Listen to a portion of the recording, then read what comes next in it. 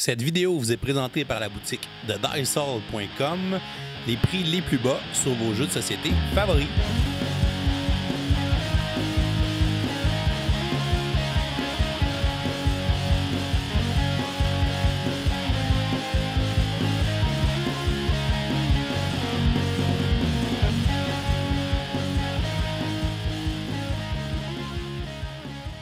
Gamers, bienvenue après ça à Board Game, je m'appelle David. Aujourd'hui à Board Game 101, on va regarder ensemble le jeu Bermuda Pirate, un jeu édité en 2019 chez Foxmind. On peut d'ailleurs les remercier de nous avoir envoyé cette copie de Bermuda Pirate, qu'on puisse l'essayer et vous le présenter en vidéo. C'est un jeu de l'auteur JP Norsker. Il se joue de 2 à 4 joueurs et les parties vont durer environ 20 minutes. Le but du jeu va être d'aller voler des trésors sur l'île centrale et de les ramener avec son navire jusqu'à sa base. On devra essayer de ramasser un trésor de chacune des quatre couleurs pour remporter la partie. C'est un jeu de cueillette et livraison, donc on va aller chercher des trésors, les voler sur une île et les ramener à notre base avec notre petit bateau. C'est un jeu aussi de dextérité où on devra pousser habilement notre bateau avec notre doigt pour naviguer les différents obstacles dans le triangle des Bermudes et éviter les tourbillons dont on ne sait pas où ils sont placés. Donc on va avoir un système d'aimant, on a un aimant dans notre bateau et on a des petits disques métalliques qui sont cachés sous le plateau qu'on ne voit pas et on devra éviter ces obstacles-là pour pouvoir aller chercher les trésors et les rapporter à notre base. On a aussi un plateau modulaire qui va faire que chacune des parties va être différente, donc on ne pourra pas se rappeler où sont les tourbillons d'une partie à une autre parce que la configuration du plateau va changer. Alors, Bermuda Pirate, je vous montre comment on joue. Ensuite, je vous dis ce que j'en pense. Et comme on est lundi, on va lancer notre concours du lundi pour emporter une copie de jeu. On va installer une partie pour 4 joueurs. Premièrement, on va placer la pièce centrale au milieu de la table et on va aller placer les 4 sous-plateaux dans les 4 coins. Les sous-plateaux, on peut les placer dans le sens qu'on veut, ce qui va changer la configuration du plateau et l'emplacement où on va retrouver les différents pièges, les tourbillons, qui sont les pièces métalliques qui sont engravées dans les sous-plateaux mais qu'on ne voit pas avec nos yeux. Par la suite, on va prendre le plateau qu'on va aller placer par-dessus les sous-plateaux et on va placer les petites encoches de la pièce principale dans les quatre trous du plateau. Pour bien tenir cela en place, on va aller placer quatre drapeaux de couleur sur l'île centrale pour tenir le plateau et le, les sous-plateaux ensemble. Les îles vont aussi représenter les endroits où on va pouvoir aller chercher les trésors pendant la partie. On va donc placer les gemmes de couleur associées aux couleurs des drapeaux sur chacune des îles et on va avoir aussi les quais pour aller accoster sur ces parties d'îles pour aller chercher les trésors des différentes couleurs. Les joueurs devront aller chercher un trésor de chaque couleur pour essayer de remporter la partie. Chaque joueur va se choisir une base dans un des quatre coins du plateau et va placer son bateau sur sa base qui correspond à la couleur de la base. Et on va aussi recevoir trois bouées de notre couleur. Si jamais on joue avec des enfants et des adultes en même temps, à ce moment-là, on peut retirer des bouées pour les adultes pour leur donner un handicap par rapport aux enfants. Et le joueur le plus jeune, on dirait que c'est le joueur vert, sera désigné comme premier joueur. Une partie de Bermuda Pirate se joue à tour de rôle. Un joueur à son tour va avancer son navire en le poussant avec son doigt pour pouvoir naviguer les eaux, éviter les tourbillons qui sont cachés sous l'eau et éviter les obstacles naturels qui sont les espèces d'îles ou les épaves qu'on retrouve sur le plateau. On peut passer à des endroits où on a les animaux marins d'imprimés parce qu'ils sont sous l'eau ou bien des animaux volants aussi qui ne sont pas de vrais obstacles, qui sont seulement là pour la décoration. Les joueurs vont essayer de naviguer et de se rendre aux différents quais de l'île sans pour aller voler les différentes gemmes de couleur et ensuite revenir à sa base avec la gemme pour pouvoir la sécuriser dans sa base. Le premier joueur à rapporter une gemme de chacune des quatre couleurs à sa base sera déclaré vainqueur. À son tour de jeu, un joueur va prendre un de ses doigts et va pousser son navire et va essayer de le faire naviguer dans les eaux en évitant les différents obstacles et les tourbillons. Si je réussis à accoster sur un quai comme présentement, je vais pouvoir prendre une gemme de la couleur du drapeau et la placer sur mon navire. Ensuite, je devrais décider si je veux essayer d'aller me chercher une autre gemme au quai à côté, une gemme blanche, et essayer de les ramener les deux d'un seul coup à ma base, ou je pourrais décider de retourner tout simplement à ma base, essayer de sécuriser la gemme bleue. Je vais essayer de me rendre jusqu'au quai de la gemme blanche.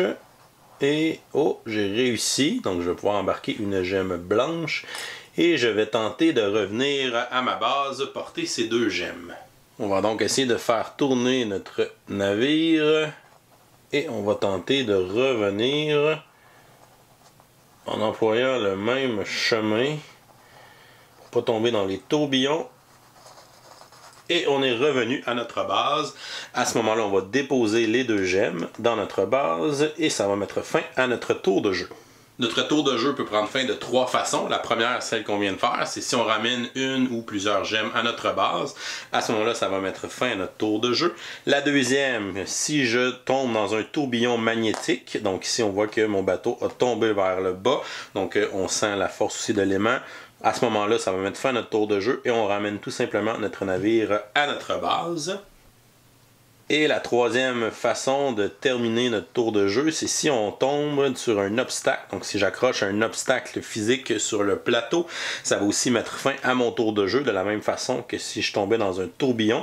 On va donc ramener notre bateau à notre base pour terminer notre tour de jeu. Si un joueur transporte une gemme et qu'il tombe dans un tourbillon, on voit que la gemme est propulsée dans l'océan. À ce moment-là, ça va mettre fin à son tour de jeu. Il va ramener son bateau à sa base. La gemme va rester dans l'océan et n'importe quel joueur qui touche à la gemme avec son bateau pourra la ramasser et la placer sur son bateau pour essayer de la ramener à sa base. Si, si jamais la gemme avait tombé en dehors du plateau ou si elle tombe sur un obstacle du plateau, à ce moment-là, on va tout simplement la remettre sur l'île au centre. À la fin de son tour de jeu, un joueur peut décider de placer une de ses bouées ou de déplacer une de ses bouées qui est déjà sur le plateau. On peut servir des bouées pour essayer de se rappeler où sont les tourbillons pour ne pas passer dedans dans nos prochains tours de jeu.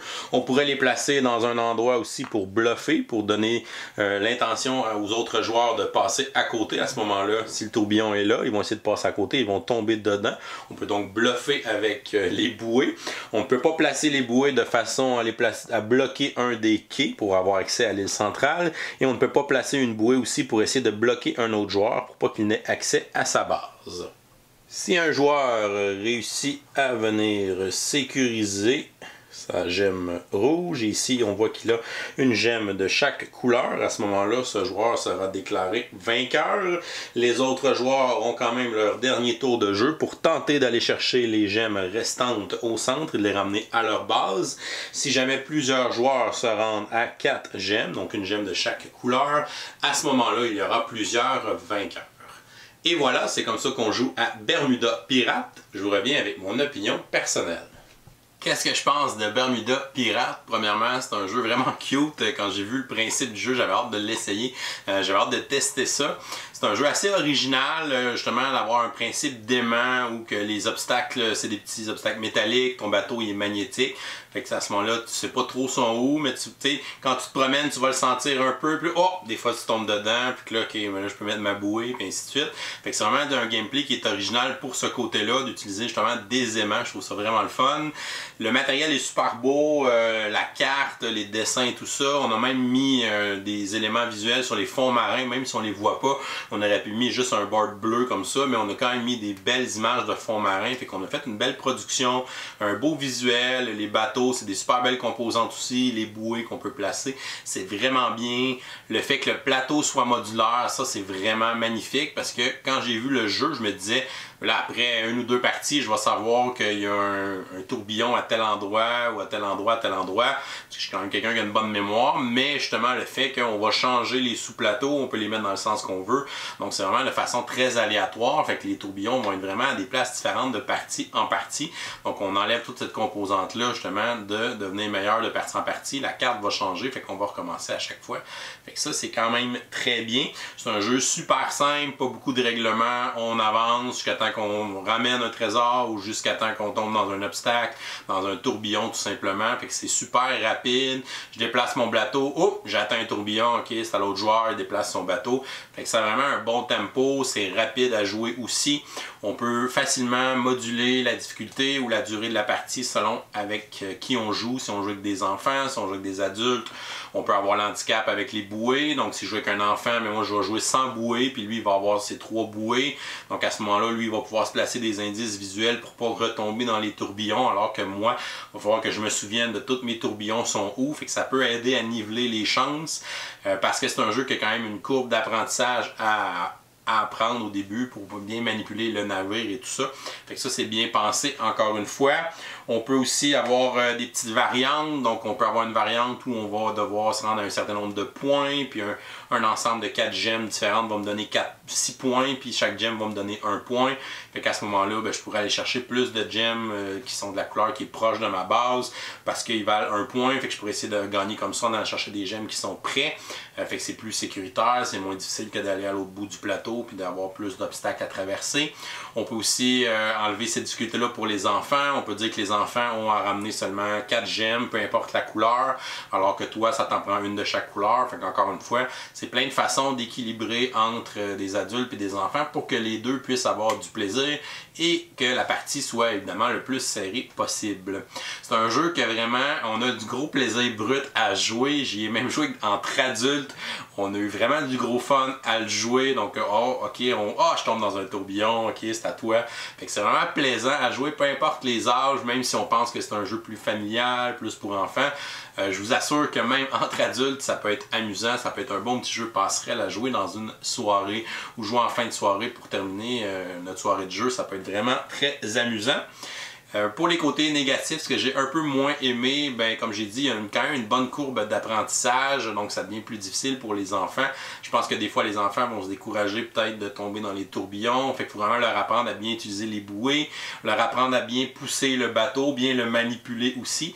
Parce que si on, on, va, on va pas très vite avec notre bateau, ben là, dès qu'on est près d'un aimant, clac, on va tomber dans l'aimant parce que justement, on n'a pas beaucoup de vitesse. Tandis que si on navigue puis on pousse tout le temps notre bateau, qu'on a une certaine vitesse, ben à ce moment là si on passe loin des aimants, on est moins attiré, qu'on a plus de chances de s'en sortir. Fait qu'il y a vraiment une petite courbe d'apprentissage à avoir. Fait qu'essayez de montrer ces trucs-là à vos enfants rapidement, justement, pour pas qu'ils se découragent devant la tâche, puis qu'ils se tentent de jouer, puis qu'ils veulent plus rejouer à ce moment-là. Côté composante, j'ai trouvé que les gemmes étaient un peu petites, sont un petit peu difficiles à manipuler, à placer correctement sur le bateau. Donc peut-être des gemmes un peu plus grosses, ça aurait peut-être été mieux euh, côté composante. Sinon, Bermuda Pirate, un jeu que j'ai trouvé vraiment amusant. Pour vrai, un beau petit jeu super simple, super euh, original aussi, avec les aimants et tout ça. Je vais lui donner une note de B. Donc pour moi, c'est un bon jeu, bon jeu de dextérité, bon jeu de petites de cueillette et livraison, euh, avec un petit élément de mémoire justement où on doit retenir où sont les obstacles, c'est quoi le chemin qu'il faut que je prenne pour aller à telle place. Donc vraiment plein de petites mécaniques ensemble qui fonctionnent bien puis qui font une belle expérience de jeu très amusante, même entre adultes, là, Bermuda Pirate. Donc c'est un petit jeu qui est très bien. Donc euh, je pense qu'il est disponible présentement en magasin si vous voulez regarder ça dans votre boutique favorite. Et voilà, c'est tout pour aujourd'hui. Oh, c'est vrai, on est lundi, c'est notre concours du lundi. Donc euh, cette semaine, on va faire tirer une copie de Bermuda Pirate en partenariat avec Foxmine. Donc euh, merci encore. Donc, avant de vous dire comment participer, on va vous annoncer le gagnant de la semaine dernière. On faisait tirer le jeu Obscurio, super jeu de déduction avec des images. Donc, notre gagnant pour Obscurio, il s'agit de Alexandre Simard. Donc, félicitations Alexandre. Tu peux nous écrire à professeurboardgame commercial gmail.com pour nous envoyer tes coordonnées, qu'on puisse t'envoyer ton prix. Pour cette semaine, pour participer à notre concours du lundi, c'est simple. Vous n'avez qu'à répondre à la, question du jour en commentaire YouTube sous la vidéo. Et la question du jour est la suivante. Quel est votre jeu de pirate favori? Donc, vous nous laissez la réponse en commentaire YouTube sous la vidéo pour pouvoir participer et avoir une chance de gagner une copie de Bermuda Pirate. On vous laisse jusqu'au dimanche 29 septembre pour participer à ce concours jusqu'à midi heure de l'Est. Et si jamais vous êtes inscrit à notre campagne Patreon pour 5$ et plus, vous avez une participation automatique au Donc si vous participez en commentaire, vous aurez une deuxième participation. Donc bonne chance à tous pour ce nouveau concours. Donc et voilà, c'est tout pour aujourd'hui. Si vous n'êtes pas abonné à notre chaîne, vous pouvez cliquer notre petit bonhomme ici en bas pour vous abonner. Sinon, vous pouvez nous suivre sur Facebook, Twitter ou Instagram à Professeur Board Game. Et vous pouvez venir nous encourager sur notre page Patreon. Je vous souhaite une excellente fin de journée et continuez de gamer.